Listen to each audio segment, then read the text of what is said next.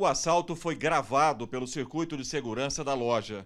Clientes estavam sendo atendidos quando os criminosos chegaram. Dois homens de boné com sacola e mochila.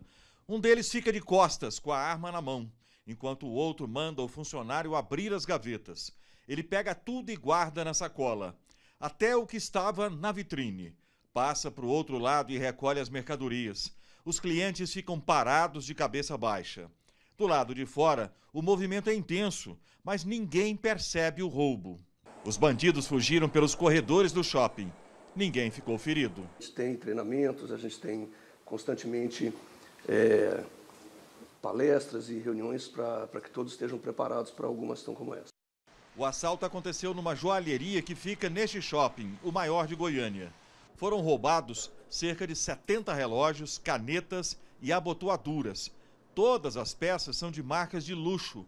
As mais caras custam, em média, 30 mil reais cada uma.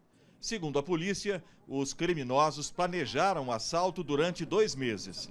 Nesse vídeo, uma das comparsas finge estar passeando no shopping para monitorar a segurança da joalheria. Ele está lá daquele lado e a porta está assim. Olha lá ele, segurança de lá.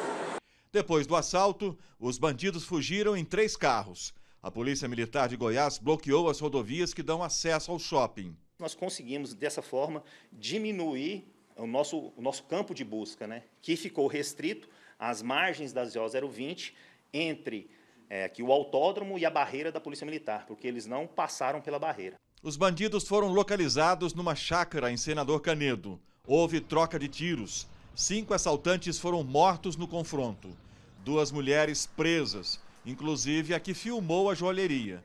De acordo com a investigação, a quadrilha seria de São Paulo. São contumazes na ação é, contra esse tipo de, nessa modalidade criminosa, no estado de São Paulo, no estado de Minas Gerais, tanto também no DF, mas em Goiás esses deram mal e sempre vão se dar mal. Toda a mercadoria roubada foi recuperada e devolvida para o dono da joalheria nesse tipo de assalto não se encontra produtos e nós encontramos todos eles de volta, sem exceção.